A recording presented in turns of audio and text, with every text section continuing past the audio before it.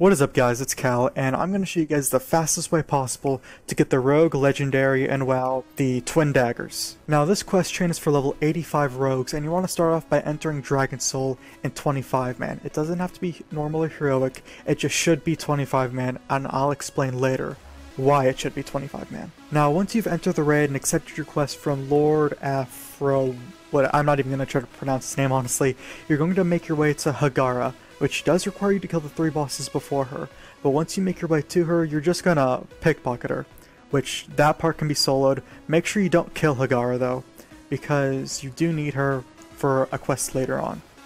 Now once you've pickpocketed the Decipher Ring from Hagara, you're going to head to Stormwind or Orgrimmar depending on your faction, and you're going to go to the Ethereals where the Void Storage is, the Transmog Vendor, all that, and you're going to turn your Decipher Ring into one of the Ethereals for 10k gold. Uh, I forgot to say that at the beginning, I will add it in editing though, but you do need 10,000 gold to spare. And he's pretty much just going to hold the ring hostage for 12 hours. So you just have to wait 12 hours. So after the 12 hour period, once you receive your ring, you're going to go to a location that's in the northwest part of Twilight Highlands. You're going to go into this little tree thing, this burrow, and then you're going to talk to an NPC who is going to give you a cipher, which will allow you to decipher the ring.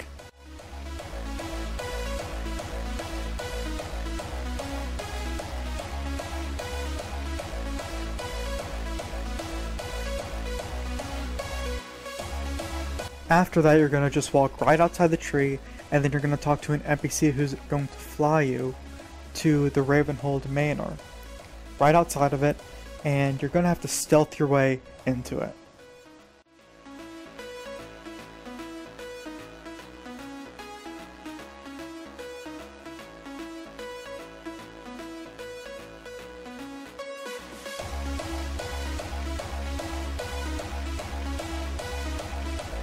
Now the next part of the chain is to catch a thief. Once you arrive at the location of Ravenholdt Manor, you'll accept this quest, and it tells you to stealth into the manor without getting caught.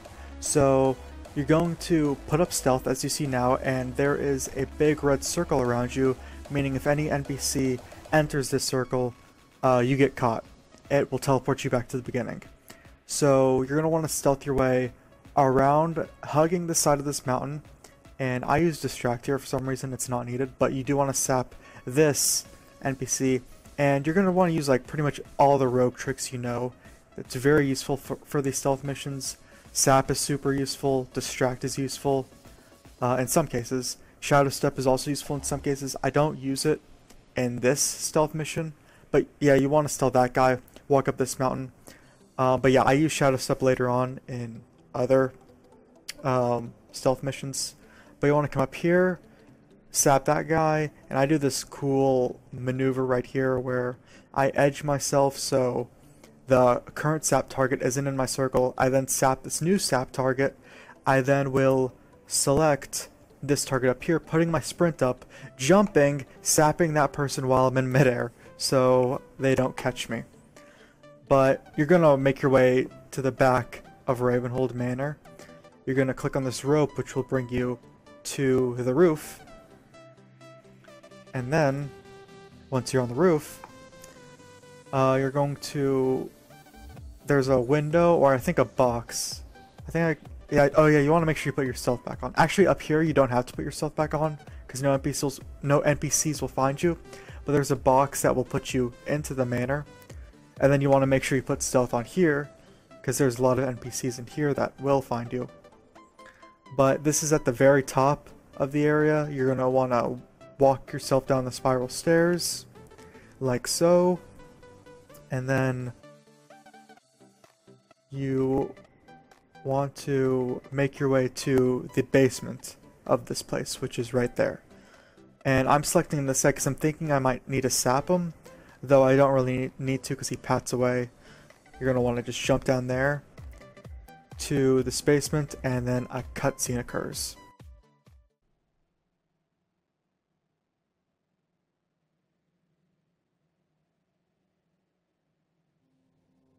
That's right, mortal.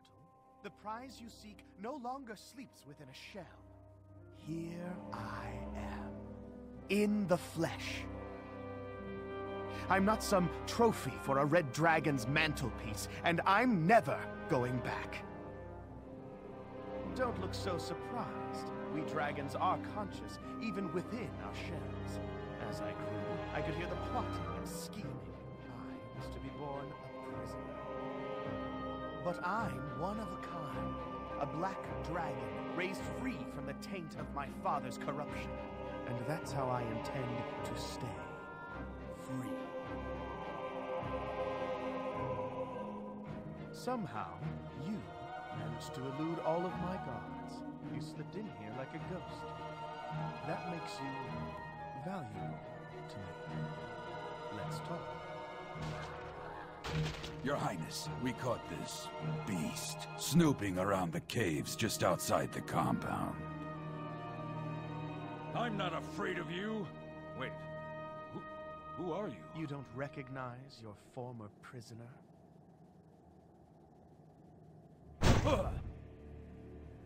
Shall we execute him, my prince? No. I want him to deliver a message to the Red Dragonflight.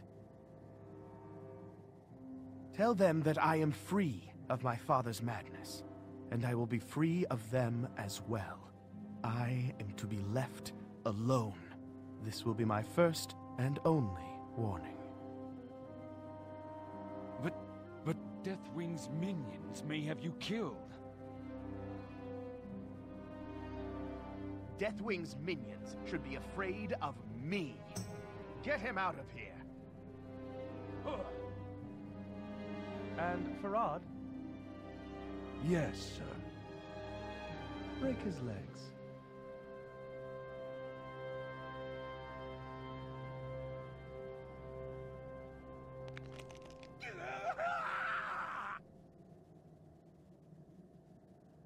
Now then, my new friend, we have much to talk about.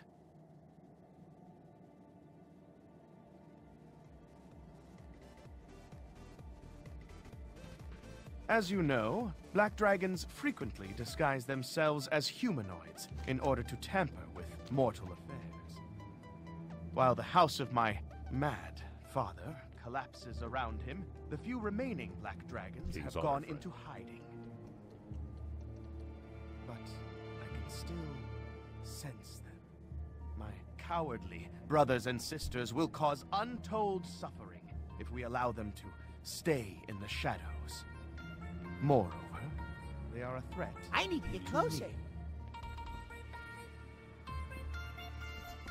That is where you come in. Help us to slay them all, and I will reward you handsomely.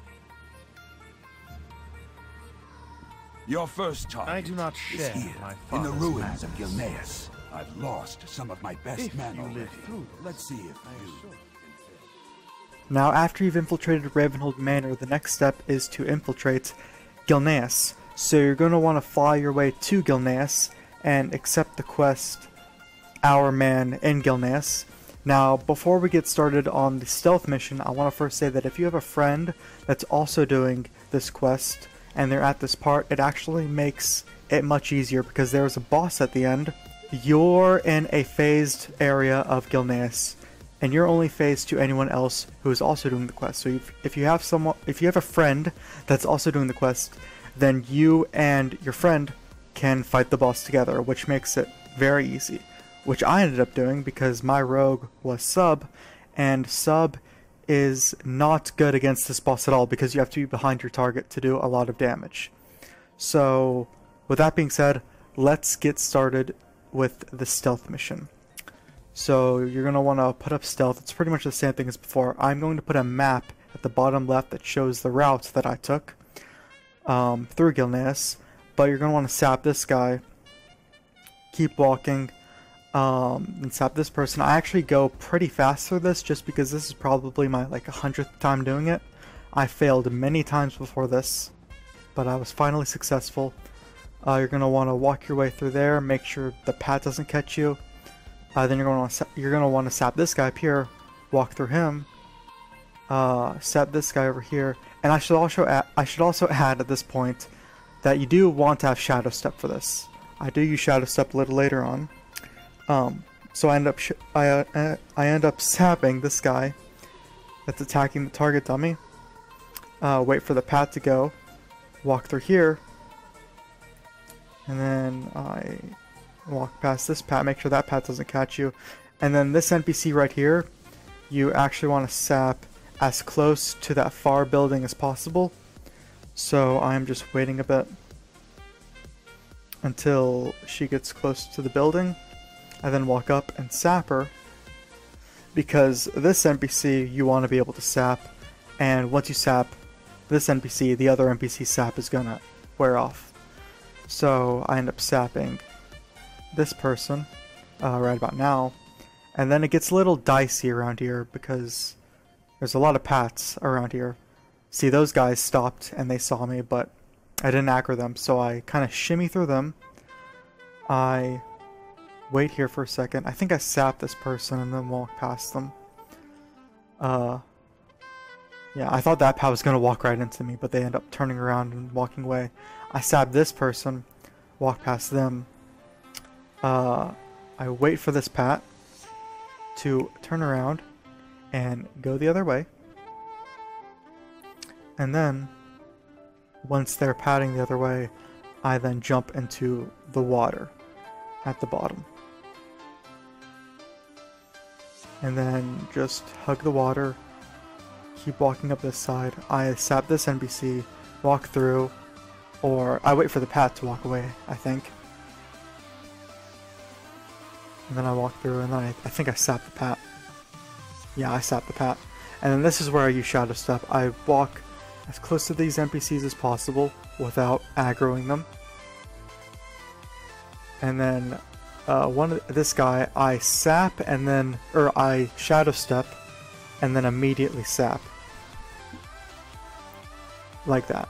And then sap this guy, walk up here. It gets little uh, dicey up here too. I think I sap this guy to my right, um, just so he stopped moving, but I end up sapping this NPC right here, and this is pretty much the end. Uh, luckily that guy stopped, because he was getting a bit suspicious, and he almost walked right into me. I then actually Shadow Step that guy and sap, and I realized that I have aggro on him, so I'm kind of just standing here wondering what to do, and then I realize, well, uh, I think I'm just going to vanish to drop the aggro. And that is the stealth part in Gilneas. So now we're facing Lord Hiram Creed. Now let me remind you that I am doing this with a friend, which made it much easier. You can do that too if you have the option.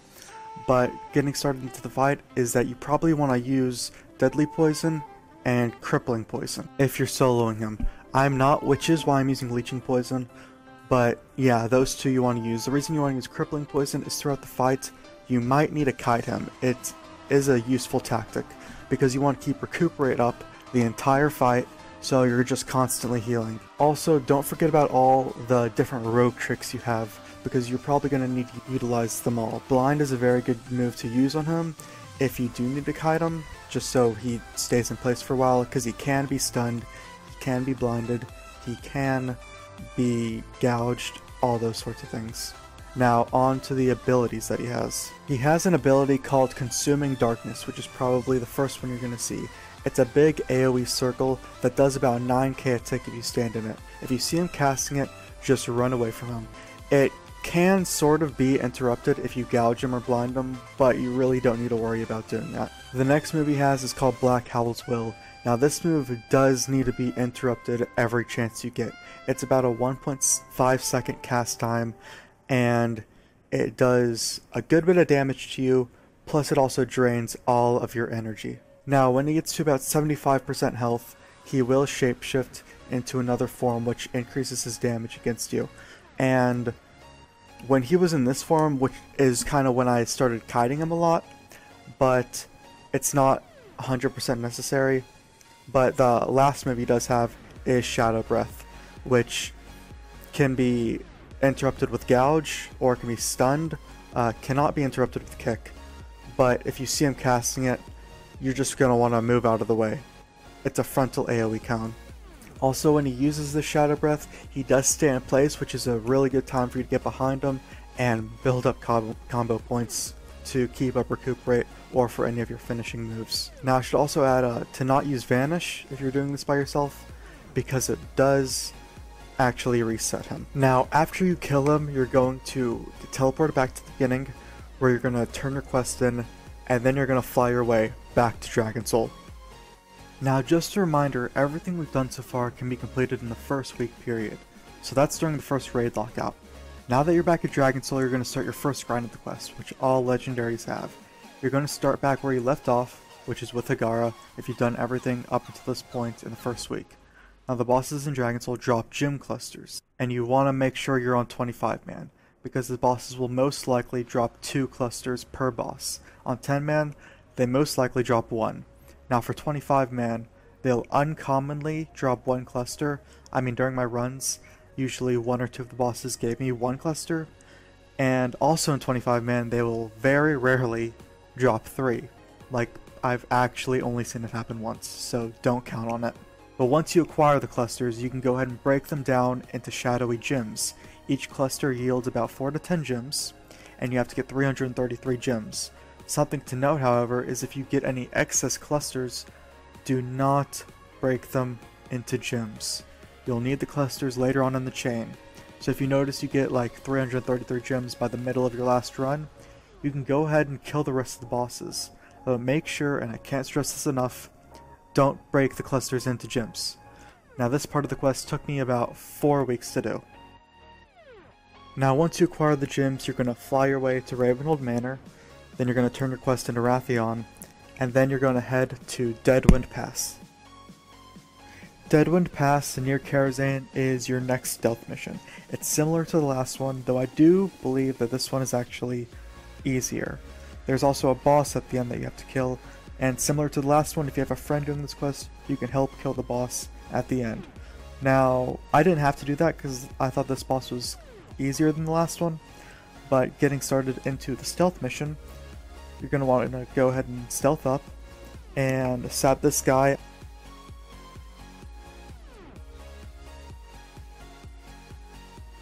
Walk around here behind this house. Um, kind of nudging your way, just holding the side, staying near the side all the way past the front of Karazhan, around this house, and you're going to come up to a cellar, which is on the other side of this house, I believe. You're to need a sap guy also.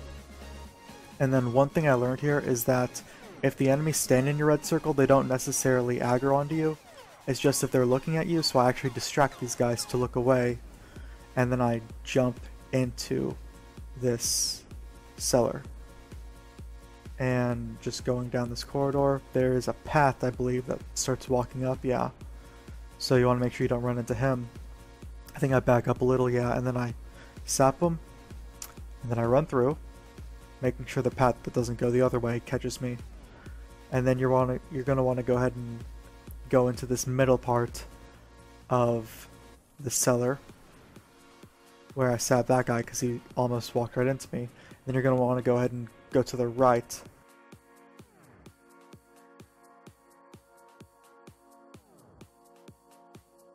And then just keep uh, nudging your way through these guys. Sap that guy, walk past him.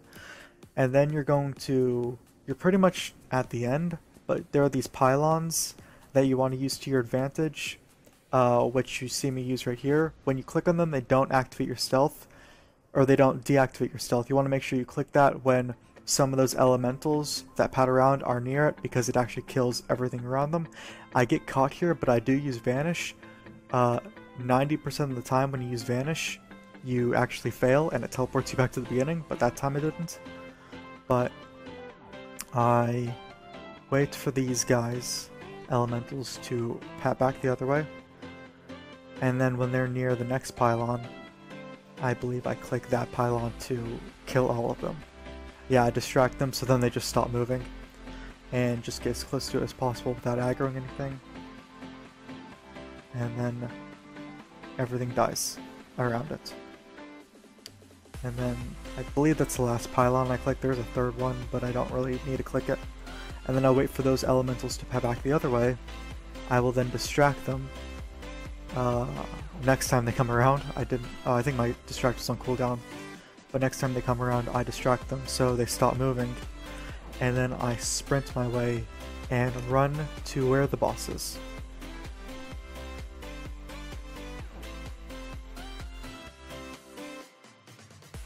Now the next boss, Nalice, similar to the last one, you want to make sure you recuperate up the entire time. The poisons I'm using are crippling and a leeching poison for the extra heals. Now the thing that's a bit annoying about this boss is if you die multiple times, hopefully you've got like a Jeeves or a scrap bot so you can repair, because you won't be able to mount indoors if you have a yak or a mammoth. The last boss was outdoors, which allowed you to mount. Now onto the fight. Nalice has an ability called Arcane Infused Weapon. When you see her cast it, you want to make sure you kidney shot it. If you aren't able to kidney shot it, you want to make sure you run away from her because it does a good bit of damage. Now throughout the fight she will also enrage. As soon as she enrages, you want to make sure you use Shiv on her to dispel her because she does a lot of extra damage while she's enraged. And then a third ability that she does is Arcane Missiles. This does a good bit of damage and it's interruptible so you want to make sure you kick it off or gouge her or anything that will interrupt the spell. Now when she gets to about 66 and also 33% health, she will go into another phase, meaning she will be invulnerable, you can't attack her, and then there are two pylons on the other side of the room, and there are multiple explosions that happen on the ground throughout the room. You want to run to each pylon on the other side of the room without getting hit by any of the explosions because they do a lot of damage. You want to make sure you click both of the pylons and then she becomes attackable again. And then after that 33% mark, she gains a new ability called Blazing Shadows, which she'll cast on you, and you can do one of two things. You can either Cloak of Shadows it off, or you can keep running until the debuff falls off you. The debuff lasts about 8 seconds and what it does is it puts a trail of fire behind you so you can continuously run and then using feint is a good idea so then it decreases the damage that Blazing Shadows does. And that's about it. Once you've mastered all that, you'll then have Nalice killed. Our mage buddy will then teleport us out of the instance and we finish up our quest there.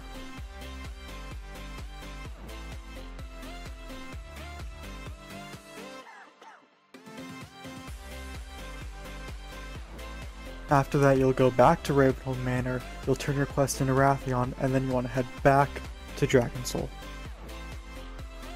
Now that you're back at Dragonsoul, this is where you do your second grind of the quest, and it's also the last one. You need to collect 60 gem clusters.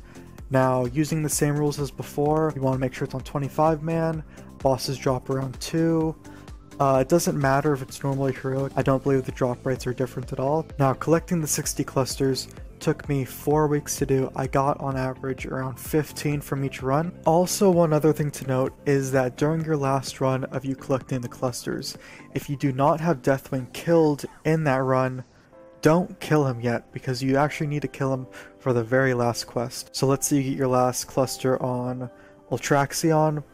Uh, don't finish out the raid. Well, you can kill the bosses up to Deathwing, but then don't kill Deathwing. If for some unfortunate reason you get your last cluster on Deathwing, like I did, that actually happened to me, you do have to wait till your next raid lockout to kill Deathwing. And then once you collect the clusters, you head back to Ravenholdt Manor to Wrathion.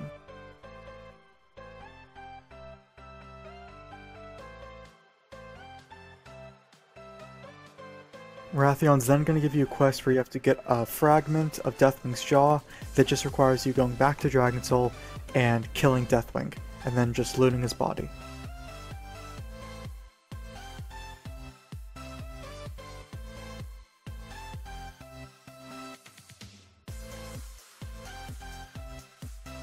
And now you are done with the chain. You're going to go back to Ravenholdt Manor, see that it's actually burned down, and then you're going to talk to Wrathion who is right outside and it's going to trigger a cutscene.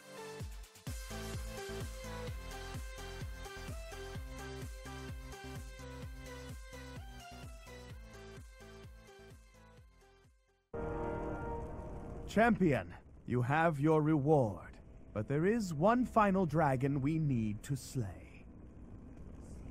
My prince, we should leave this place, in case they come back to finish the job. Fahrad, I was just talking about you.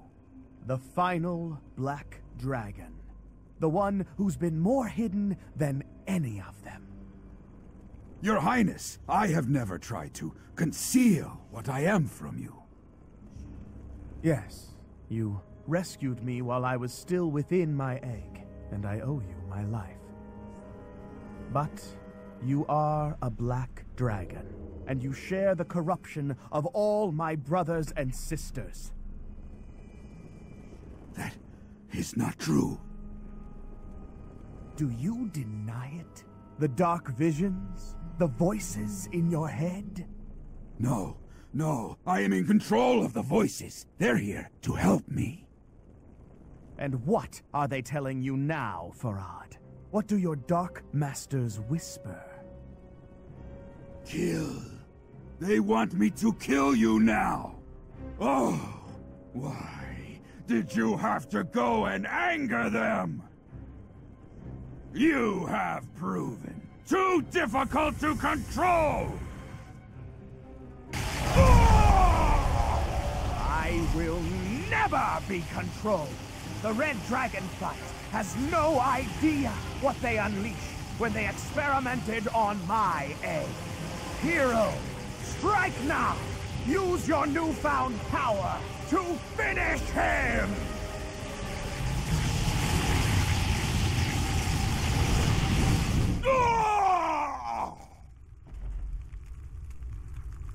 It is done, friend. To my knowledge, I am the only black dragon who remains. A new age for mortals has dawned, and heroes like you are among the vanguard. I must go now. Disappear. Perhaps we will meet again. I hope we find ourselves on the same side.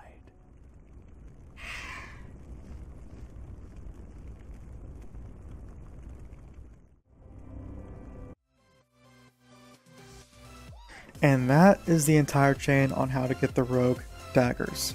Now, a cool effect that they have is that they actually allow you to slow fall for 15 seconds. So that's pretty neat. But that's the video guys. I hope you liked it. I hope you enjoyed it. I hope it helped. You can leave a like on this video if it helped. Uh, you can check out my other tutorials where I show how to get Shadowmourne and the Tarecgosa staff. But with all that being said, I hope you guys enjoyed the video, and I'll see you guys in the next video.